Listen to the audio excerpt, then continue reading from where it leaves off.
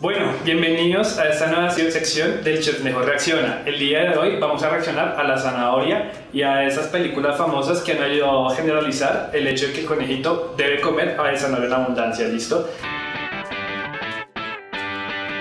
Les recuerdo que la zanahoria es una hortaliza rica en carbohidratos los carbohidratos en los seres humanos ayudan a que los alimentos pasen más rápido del estómago al intestino. En conejitos esto es muy diferente, haciendo que pueda producir problemas como la diarrea y en este caso pues en la mayoría de casos para los conejitos suele ser mortal. Hay que evitar que nuestras mascotas lleguen a estos puntos, ¿vale? La primera película a la que vamos a, a reaccionar o a mencionar es a Peter Rabbit, donde claramente ustedes van a poder encontrar al protagonista, pues a Peter, acostado en una eh, pues, cama literal de zanahorias. Eh, la segunda película que nos ayuda a reafirmar el hecho negativo de que quieren comer zanahoria es la famosa película o saga de Space Jam, el famoso conejo Box Bunny. Ustedes saben pues, que está loco por la zanahoria. ¿Qué hay de nuevo, viejo? Tienes muy buen ritmo, viejo. Lo intentaré.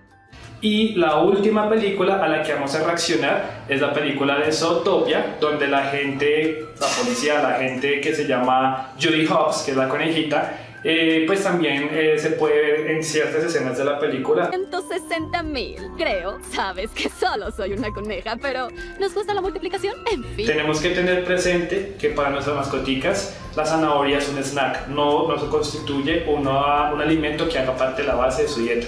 Eh, síganos en este canal de YouTube para que puedan aprender más contenido acerca de los conejitos y más tips que les pueden servir a ustedes para así ayudar a que sus conejitos tengan mejor calidad de vida.